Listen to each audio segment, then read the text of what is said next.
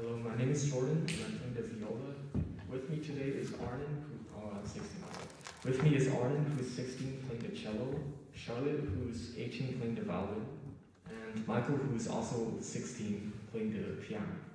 Uh, today we'll be playing the third movement of uh, Brahms Quartet Number 2 in A major, starting with a light, almost heavenly scherzo, leading into a fiery uh, trio, and finally repeating to the scherzo.